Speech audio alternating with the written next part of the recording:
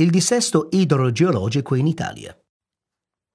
La causa principale di alluvioni e frane è il dissesto idrogeologico, ossia lo squilibrio che le attività umane provocano nel rapporto tra le acque e le condizioni del terreno.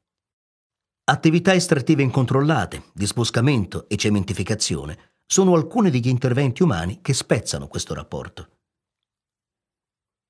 In Italia le regioni maggiormente minacciate sono la Valle d'Aosta, l'Umbria e la Calabria, i cui comuni sono tutti a rischio, e le Marche, la Toscana e il Lazio, in cui è a rischio la quasi totalità dei comuni.